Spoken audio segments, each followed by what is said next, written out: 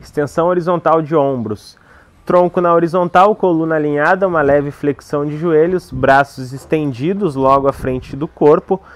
Eu vou fazer uma extensão de ombros alinhando meus braços com o meu tronco. Eu não vou jogar eles lá para trás, tá? Não tem a necessidade. Então, desço devagar, alinho com o tronco, desço devagar. Em uma vista superior, coluna alinhada, braço estendidos ao, à frente do corpo. Durante o meu movimento, procurem sempre manter o braço estendido também. E notem que eu só alinho o tronco.